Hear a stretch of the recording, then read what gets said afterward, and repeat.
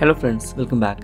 In this video we will take a look at what is resolver, why it is used, where it is used and how you will change the depreciated resolver function to the latest supported version in Angular 16 and above. So we will check all of these things with Angular 17 version. So without delay, come let's get started.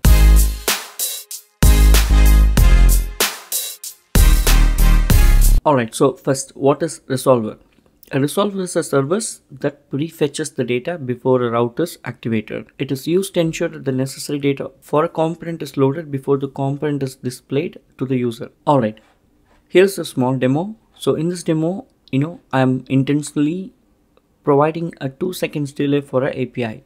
So when I do a login and then click on this profile edit, see it takes 2 seconds and then the data loads. But until that time, it did not go to this route and there was no error. So let me tell you what will happen if you don't have a resolver. Okay, so now I have commented about the resolver. So let's see what happens, right? So I log in, I try to go here and it immediately went here, but you also saw a lot of errors coming up. See, there are a lot of errors coming up and the moment error comes, even data comes, nothing works, right? So it will not be good in order for us to show the component with the proper thing you need to have the resolver okay? So that is what the problem will solve.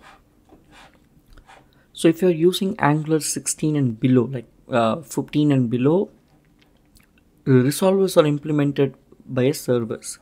So you define a class that is injectable which becomes a service and that implements a resolve.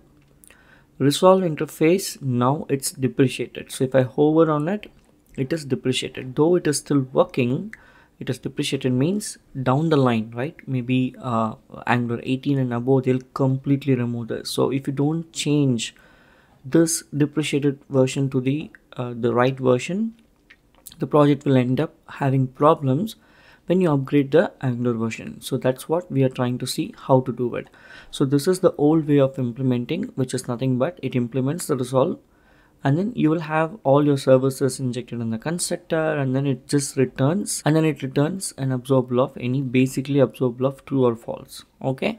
So how do we change this resolve which is depreciated to the acceptable one? Very simple.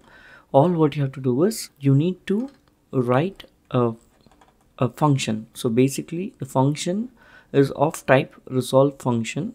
Okay? And the return type is here profile object okay so in our, your case based on what is getting returned from the service that is what uh, you have to put it in the resolve here. Okay if this resolve is returning a particular data object you put that model here. It could be anything. Now it accepts two things a route and a state. Route is activated route snapshot and then status router state snapshot. Okay all what we are doing is we will have a service okay which is internally calling the apis in our case, this is just a profile service.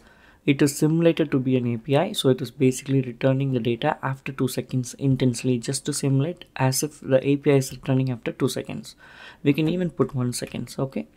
Now, all what we have to do is we have to say inject that service and then once you have the inject of that service that becomes an instance of the service and then it is as usual you try to access the member of the service you get that we have profile as the function inside the service so we are able to use that. And using the route which is the activated route snapshot we will fetch the id from the route right? Edit slash some number is coming right? So that number we pass that as input and then we get the response. Once you get the response this will return that response. Now how do you use this one into the route? The resolver can be combined with either the parent level route or the child level route. So basically whichever component is trying to load, if you want to pass the data like pre-fetch the data, that's where the resolver is used. So in this case, if you see under the children, we have something called edit profile, right? So when you click on edit, it's going to edit profile component. Edit profile component is what it needs the data.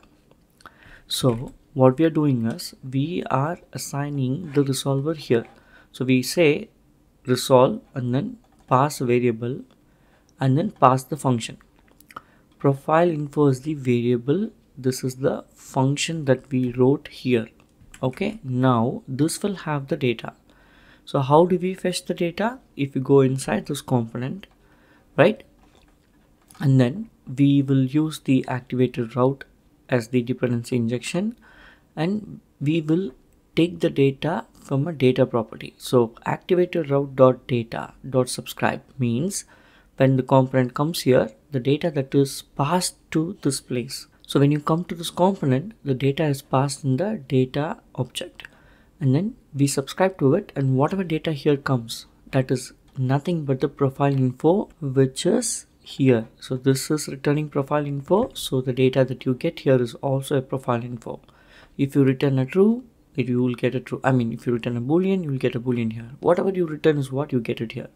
Once you have the data i will be able to show the data here. Let's do one more time. I log in. There's a one second delay. I click. After delay after one second delay it was waiting for one second. Until that time it did not go here. Let's do one more time. So i log out. All right let's do one more time so let's click this and then click on the see until one second it did not change. Once the data is ready it changed and the data is fetched and showed here and you didn't see any error here because it did not even go to the component where the data is not loaded yet. So that's it guys. So this is very easy. This resolver concept is very important. We will be applying this resolver concept in our smart cart hub e-commerce application shortly. So this is just a pre-video. Anyone who wants to use the resolver in 16 and above version you have to use it this way. So the code is available in the github repository. I hope you enjoyed this video. If you like this video subscribe to my channel share this with your friends and if you have any questions do let me know in the comment section. And until then signing off karthik. Thanks for watching.